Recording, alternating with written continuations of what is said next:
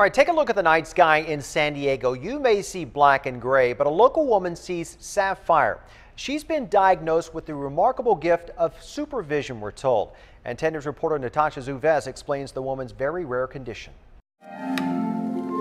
As the first strokes of paint go down on canvas, yellow to paint a pink rose, it becomes clear Mission Hills artist Concetta Antico sees color a little differently. Everything's amplified in color, and I didn't realize that everybody didn't see it. She's been diagnosed with tetrachromacy, in other words, supervision. Just last year, a genetic test done by Dr. Jay Neitz at the University of Washington confirmed she has the building blocks for four photoreceptors in her eye.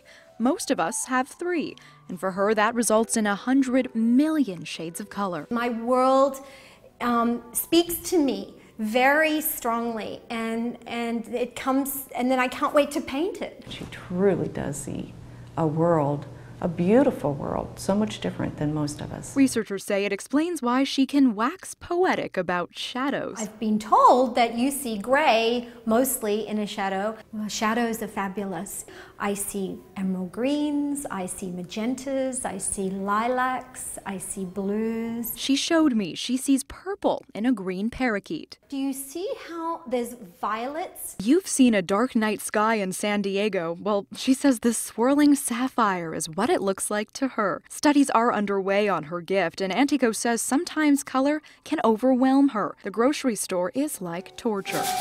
Tetrachromacy has existed in the animal kingdom, fish, birds, but we didn't know the extent to which it was actually in the human species. Research into humans with supervision is just beginning. One initial study says they believe between 2 and 3 percent of women may be affected, and when they look at an image like this sunset behind me, they'll see an incredible range of color. Imagine seeing violets in the light and blues in the shadows. I feel lucky. So what's in a rose? Apparently gold, yellow, orange, purple, red, and yes, pink. Natasha Zouves, 10 News. Now, Southern California universities are doing research on Antico. There are hopes her supervision could help find a cure for color blindness. It uh, strikes close to home as well. Ironically, her daughter is colorblind.